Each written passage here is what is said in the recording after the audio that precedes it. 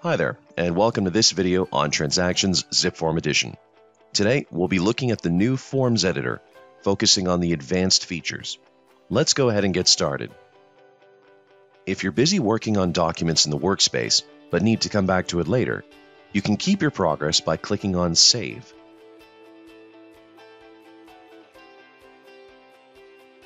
The next time you open up the new Forms Editor, you'll get a pop-up asking if you want to open up your previous workspace or start a new one. You can work on different areas of the transaction without having to leave the workspace. Any updates you make will automatically pull through to other forms and relevant areas within the transaction. For example, within Parties, you can view and add new contacts. Just click on Add, then Add New Party, then enter in the information.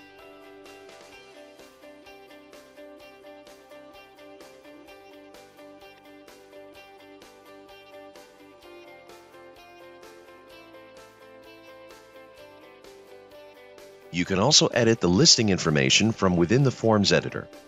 You can even go so far as to import data by using an MLS listing with our MLS Connect plugin or via tax records with our Record Connect plugin.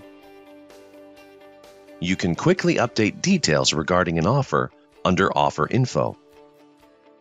Did you know you can add documents other than forms? If you click on Upload when adding a new document, you can choose to add a document from your computer or drive, such as a PDF.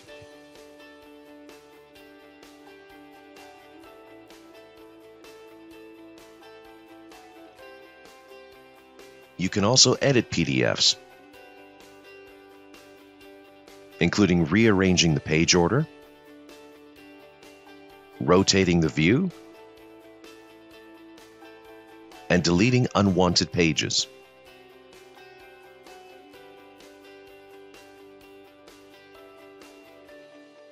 Make quick changes to documents using the Tools tab. For example, you can add a custom text box to a document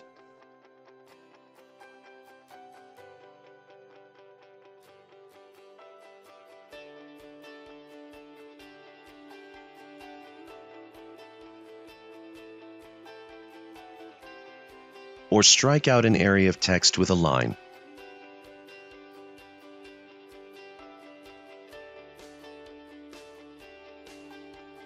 You can create and add clauses to your documents within the workspace. In the Clause tab, you can create your own library of clauses which you can quickly add to documentation as you need it. You can even use the new Forms editor to add clauses when making templates that will carry over when applied to transactions.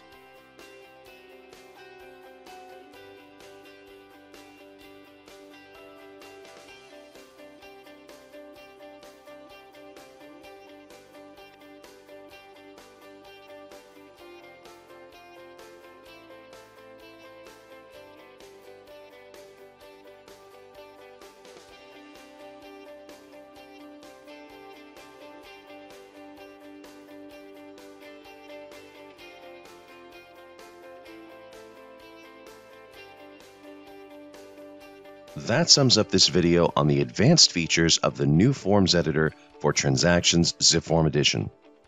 For more detailed information, we invite you to check out one of our webinars by clicking on the link in the description.